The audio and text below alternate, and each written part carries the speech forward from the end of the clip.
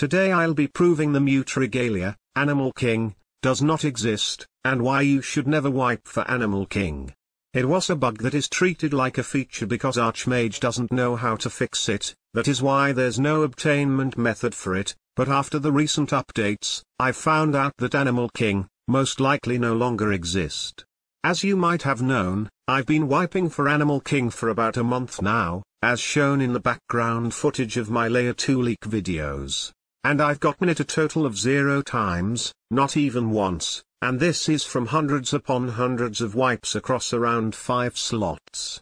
It is mathematically completely improbable for me to get that unlucky, so the only logical conclusion is that it got patched.